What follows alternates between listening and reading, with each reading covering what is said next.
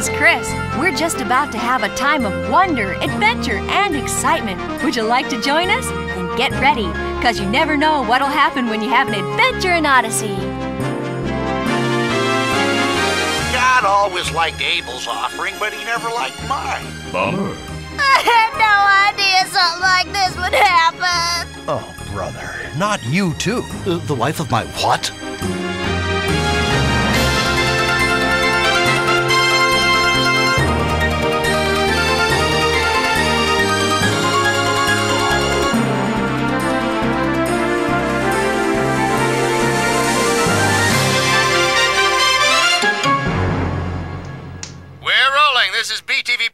Take one. Action.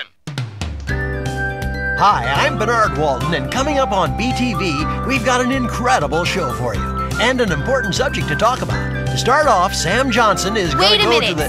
Hold it. Hold everything. Cut. Courtney, I'm taping a promo. What's going on? This is going to be another one of those shows where Sam gets to do all the fun and exciting stuff, isn't it? Well, I wouldn't say that. Oh, come on. Sam always gets to do the fun and exciting stuff. I never do. I want his part. What? I want his part. Courtney, have you read this week's show? No, but it doesn't matter. I know he'll get to do the fun stuff and I'll get stuck in the studio. I want his part. Okay, Courtney, I'll just cross out his name and write yours. There, are you happy? Yes. Can I tape this now? Sure. Well, thank you. Okay, guys, let's try it again. Right. And we're rolling. This is BTV promo. Take two. Action.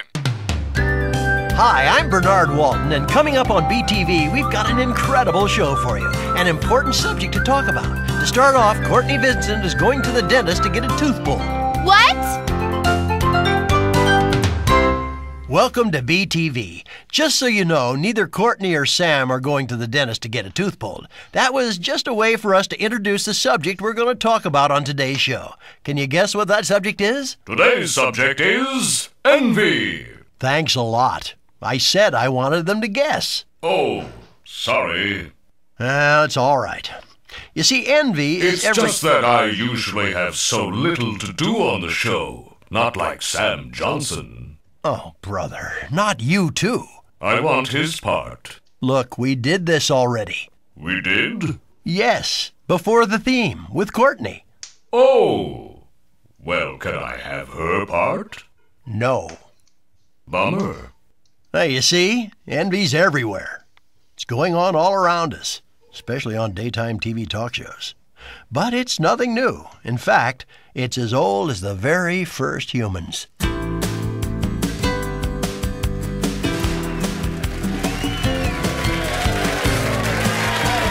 Hello, and welcome to the Oprah Heraldahue Show. What can turn a brother against a brother? We're going to take a look at that today. With me in the studio are Adam, the first man, and his wife Eve, the first woman. Good to have you both here. It's good Thanks to be for here, having Oprah. us. Also joining us via satellite from his exiled home in the land of Nod, just east of Eden, is Adam and Eve's first son, Cain. Cain, are you there? Uh, uh, yes, Oprah, I'm, uh, I'm here. Let's start with you then. Tell us what happened between you and your brother. Oh, well, uh, I'm a farmer, see, and Abel, my brother, uh, he's a, he, he was a shepherd. At harvest time, we'd both bring the Lord gifts from our work. Uh huh. What kind of gifts? Well, I brought wheat and corn, you know, stuff like that. And Abel, he brought meat. I see. Go on. Well, God always liked Abel's offering, but he never liked mine. There was a reason for that, wasn't there? Well, not that I could tell. Now, son. Tell the truth. Yeah, tell the truth. Oh, all right. Abel always brought the choicest cuts from his best lambs. And you. Oh, I brought good stuff. Just not the best. Abel kept getting all the praise and glory, praise and glory that I wanted. Tell us what happened on that fateful day, Cain. Well, we just made our offerings, and Abel got all the praise again. Well, I, I just couldn't take it anymore. So I told him to follow me out into the fields. Uh, see, I wanted to make sure no one would see, which wasn't too hard since there weren't many of us on the earth at the time. Anyway, once we got out there, well, I. I. Did away with him? Yeah. Let's take some questions from the audience. You, sir. Uh, yeah, yeah. I, I just want to know how Adam and Eve feel about what happened. Well, we were shocked, naturally. It's all my fault. Now, Eve, most mothers want to take the blame for their children. No, no, no, no. This time it really is my fault. When I ate the forbidden fruit, the serpent told me I'd be like God. I had no idea something like this would happen. No, no, it's both our faults. We brought sin into the world, and envy is one of the worst. We'll be back.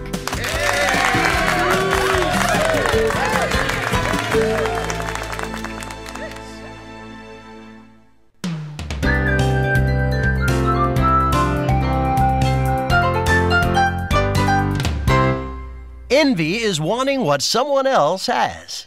Cain wanted the praise God gave to Abel, and when he didn't get it, well, you see what happened. That's the trouble with envy. It causes people to do a lot of awful and even bizarre things. Once there was a man named Joe who owned a nice little hardware store. Hi there, Joe here. I sell the finest hardware in town. No lie. Joe did a nice little business, Thanks for coming. Come back soon. Tell your friends. And it provided him with a nice little living. I got a fine house, a good car, and money in the bank. Unfortunately, that wasn't good enough for Joe. Uh-uh, not good enough at all. You see, across town there was another nice little hardware store that did a nice little business. Yeah, Frank's. And even though Frank's store didn't take away any business from Joe, Frank's store is newer and in a nicer location. so Joe envied Frank. I want his store. I want his location. I want his customers. And soon, envy poisoned his heart. I really want to get that, Frank. One night, Joe was visited by a fairy. Hello. Hi there, Joe's the name. The fairy told Joe she was there to grant him a wish. A wish? That's right. One wish that will give you anything you want. Wow, good deal. However, there was one condition. I knew it. There's always something. Okay, what is it? Whatever you wish for, your rival Frank will receive double your wish. Double? Joe thought for a moment, hmm. And suddenly a devious smile crept onto his face. Hmm. If that's the case, He sneered. then I wish for half my business to be destroyed.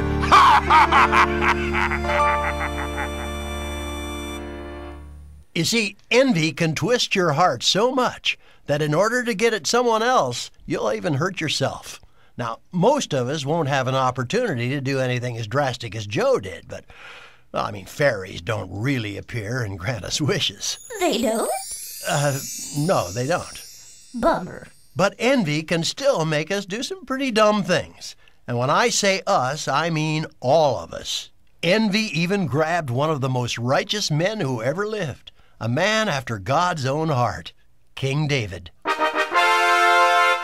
You see, when David became king, he and his army fought against the enemies of Israel. But before long, the duties of his kingdom became so great, David put Joab, his general, in charge of the army. Uh, you are in charge, Joab. yes, sire. And while the army went to war, David stayed home. I believe I'll stay home. One evening about sunset, David was walking upon the roof of his palace. That was his first mistake. You see, he looked down into the garden nearby and saw a woman who was very beautiful. David immediately called to one of his servants. Who is that woman? Her name is Bathsheba, sire. She is the wife of Uriah. Uh, the wife of my what? Uh, no, sire. Uriah the Hittite. Oh. Uriah was an officer in David's army. At the time, he was fighting in the war against the Ammonites in Rabbah, near the desert on the east of Jordan. Tell Bathsheba I want to um, talk to her. Yes, sire. Now, that was David's second mistake, for when he finally met Bathsheba, he fell instantly in love with her. My darling, my love, Oh, David. I want you to be my wife. Let us be married. But, David, I'm already married. Oh, yeah. And that's when a wicked thought came into David's heart. Hmm. David took pen in hand and wrote a letter to Joab, commander of his army. Dear Joab, The next time you attack the Ammonites, send Uriah into where the fighting will be the hottest. Then pull away from him and leave him there so that he will be killed. Love to all, David. Joab did as David commanded. He attacked a fortified city and sent Uriah and several other brave men to a place near the city wall where he knew the enemy would rush out upon them. There was a fierce fight, and Uriah and the others were slain. Joab sent a message to King David. Dear sire, the war goes well. However, we attacked the city and sustained heavy losses, including Uriah. Cordially, Joab. When David heard this, he sent another message. Dear Joab, glad to hear all is going well. Don't worry about the men slain in battle, it happens. Keep up the siege, press forward, persevere, write back soon. Love, David. So David's wicked deed was complete. And after Bathsheba had mourned her husband's death for a time, David took her into his palace, and she became his wife. Before long, a child was born to them. And David loved the child greatly. Coochie coochie coo. But God knew what David had done, and he was very displeased. He sent Nathan the prophet to tell David this. Nathan, how good to see you. What do you have to tell me this day? A story, O king. Hmm. There were two men in a city. One was rich, the other poor. The rich man had great flocks of sheep and herds of cattle, but the poor man had only one little lamb. It grew up in his home with his children and drank out of his cup and lay upon his lap and was like a daughter to him. One day a visitor came to the rich man's house to dinner. The rich man did not take one of his own sheep to kill for his guest. He robbed the poor man of his lamb and killed it and cooked it for a meal with his friend. When David heard this, he was furious. The man who did this thing deserves to die. He shall give back to his poor neighbor fourfold for the lamb taken from him. How cruel to treat a poor man thus, without pity for him. Then Nathan pointed at David. You are the man. You have done this deed. The Lord made you king and gave you a kingdom. Why then have you done this wickedness in the sight of the Lord? You have slain Uriah with the sword of the men of Ammon. You have taken his wife to be your wife. For this there shall be a sword drawn against your house. You shall suffer for it, and your wives shall suffer, and your children shall suffer. When David heard this, he suddenly realized how great was his wickedness, and he was very sorry. Oh, Nathan, what have I done? I have sinned against the Lord. David repented, and God forgave him for his sin. But there was still a consequence. The child that David loved so much became very ill and soon died. This is only part of the story of David and Bathsheba. You can read it all for yourself in 2 Samuel chapters 11 and 12. The point is David, a man after God's own heart, lied, cheated, stole, killed, and caused all kinds of grief. All because he let envy take control of his heart. Not a very happy ending to a story, but that's what can happen when envy is involved. Don't go away. There's more to come on BTV.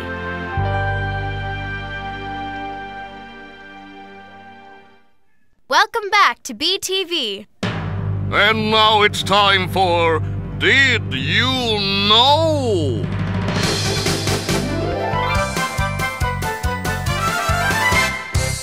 Did you know that envy is one of the seven deadly sins listed by the church fathers in the Middle Ages? The others are laziness, lust, anger, pride, gluttony, and greed. Well, you know it now, and don't you forget it. I said earlier that envy has been causing problems for a long time. That's why God commanded against it in the Ten Commandments. Thou shalt not envy. Well, God didn't call it envy. Thou shalt not want what other people have. Not quite. God actually said, Thou shalt not covet. Oh. Exodus 20, verse 17. You shall not covet your neighbor's house, nor his wife, Honey, I'm home. nor his butler, Very good, sir. nor his maid, Clean upstairs, Squire. nor his ox, nor his donkey, nor anything that belongs to your neighbor. Hey, nice lawnmower. Thou shalt not covet is the last of the Ten Commandments, but certainly not the least, because if you break it, it can lead to breaking all the others. In fact, you'd need a detective to unravel all the crimes caused by envy. Greed, avarice, covetousness. The city gets them all. And when it does, the police department depends on an elite unit to get to the bottom of things. Hold tight as you ride along with NVPD Squad. All right, everybody, just stay back. Excuse me, sir, but you're gonna have to stay behind the yellow tape here. I'm Detective Prophet, NVPD. That's my partner over there, Detective Lipowitz. It's all right, officer. Let him through. All right, sir. Elijah, what took you so long? My camel got a flat. What's the scoop, Lippy? Homicide. Victim's name is Naboth. Looks like a mob job. Mob? You mean the mafia? No, I mean a mob. This mob. They stoned him. These two guys were the ringleaders. Names are Zilpa and Nabish. Zilpa and Nabish, huh? All right, boys, spill. What happened here? You got nothing on us, copper. Yeah, we was obeying the law. What would a couple of thugs like you know about the law? In this case, plenty. Yeah, we was having a time of prayer and fasting. Fasting? Well, you know, 'cause of the famine and all. Well, we gotta see whose sins are responsible for us running out of food and stuff. Yeah, stuff. You're telling me Naboths were? That's right. Neighbors and me heard him curse God and the king yet still. Yeah, cursed him right out loud. And naturally, you let everyone in on this. Sure, we told everybody. It was our duty. Yeah, they didn't like it very much, though. They grabbed Naboth by the collar and dragged him out of here, and, and well, I'm sure you can figure out the rest. Lippy? Yeah, the story checks out. They had permission from the city fathers. Like we said. All right. Tell the uniforms to break up the crowd. Right. Close the onlookers, Charlie. Yeah, does that mean we can go too? Yeah, you can go too. But don't leave town. Yeah, right. Come on, neighbors. Okay. I don't like it, Lippy. Two thugs like that hiding behind the law. Something's not right here. Now tell me more about Naboth. Not much to tell. He was a nice, quiet guy. Well thought of before this. How was he fixed in the money department? He owned a house, a couple of donkeys, a vineyard. Vineyard? Yeah. Not very big, but it's supposed to be nice. Been in the family for generations. Where is this vineyard? Next to the palace. The palace? Ahab. The king? No one else I know is so completely sold out to the devil. Unless it's Queen Jezebel. You don't think they had anything to do with this? I don't know. But I know someone who does. Can you wrap up here? Yeah, sure. Where you going? To get some answers. Oh, right.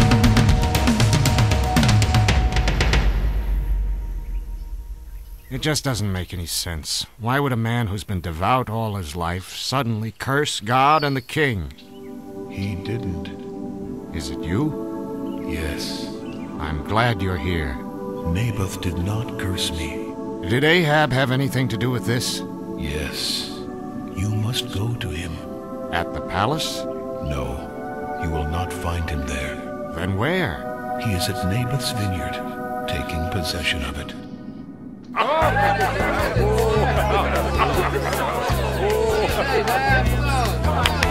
Attention, everyone, attention. Quiet, please. We are so pleased that you've all come to this little gathering to celebrate my husband, the king's good fortune, Ahab. Thank you, Jezebel, my queen. My friends, for some time now, I've been trying unsuccessfully to acquire this lovely little vineyard in which we're now standing. But fate has smiled upon me, and it is now mine at last. Fate! Don't you mean Jezebel? Elijah! Who let him in? Everybody just stay calm. I'm Detective Elijah Prophet, NVPD. This is a closed party, Elijah. You're trespassing. Really?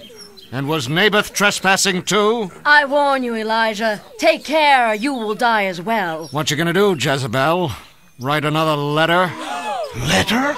Don't play coy, Ahab. Come clean. You wanted this vineyard, didn't you? Didn't you? Well, of course I did. That's no secret. It's convenient to the palace. I offered Naboth good money for it, far more than it's worth. I even offered him a more valuable piece of land. But he said no. And that's when you decided in your envious little heart that you'd do anything to get this vineyard. Even let your wife handle it. No, no! She came to me! Put a sock in it, Ahab. She said she could get the land. That's because you were acting like a sniveling coward. I wanted you to act like a king. So you wrote letters in Ahab's name, didn't you? You sealed them with his seal and addressed them to the city leaders. You told them to call the citizens together for fasting and prayer, and then have two thugs accuse Naboth of cursing God and the king. That way, the people would take him out and do your dirty work for you. Isn't that right? Who told you these things? A still small voice. You mean. That's right. And he knows everything. When are you gonna learn? You can't hide from God. For his crimes, King Ahab was cursed by God to be utterly swept away in a gruesome death we won't describe here because of the gratuitous violence, and his entire family destroyed. But because Ahab repented in sackcloth and ashes, God reduced his sentence and allowed trouble to come not in Ahab's life, but during the reign of his son. Ahab died a soldier's death in battle. Jezebel was not so fortunate. She too was sentenced by God to a gruesome death that we won't describe here because, well, you know why. And although she outlived her husband, because she never repented, her sentence was carried out just as God described. Okay, we've seen how envy's been around for a long, long time. How it can control even the best of people. How it makes people do really rotten things. And its terrible consequences. There's only one question we haven't answered. How can we avoid it? I mean, thanks to Adam and Eve, we're all fallen creatures. It's all my fault. It's both our faults. So, what can we do to stop envy from taking over our hearts? When we look at our neighbor's yard, how do we stop ourselves from thinking that the grass is greener on his side of the fence? Look at Harry's grass. It looks so much better than mine. I sure wish I had his lawn. If the grass always looks greener on the other side of the fence, you need the amazing new product Home Grow with secret formula TTYO. Tend to your own, and it's so simple to use. Just shake a little Home Grow with TTYO onto your grass. Water every day, mow once a week, trim and weed as needed. And in no time, you'll have the luscious, gorgeous lawn you've always wanted. Wow, look at this luscious, gorgeous lawn. It's what I've always wanted. Home Grow with TTYO really works. Get Home Grow with TTYO. It really works because if the grass is greener on the other side of the fence, it's probably because you aren't properly taking care of the grass on your side of the fence. Well, that's the key. Learn to care for and appreciate the things you have instead of thinking about the things you don't have. In fact, you might want to try this. The next time you start wishing for something someone else has, take out a piece of paper and a pencil. Go someplace where you can be alone and make a list of all the blessings you have. Be as complete as you can, and don't forget to include things like your health, your family, the freedom we have in this country, and a loving God. When you've written down everything you can think of, then put the list in front of you, bow your head, and thank God for each one of them out loud. Ask Him to help you appreciate them more. It's the best way I know of to keep envy out of your heart. Well, that's today's BTV. Hope you had fun and that you learned something. See you next time.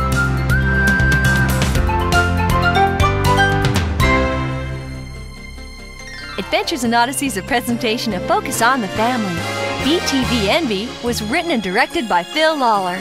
Our production engineer was Bob Luttrell, and our executive producer, Chuck Bolte. And I'm Chris, hoping you'll join us again next time for more Adventures in Odyssey.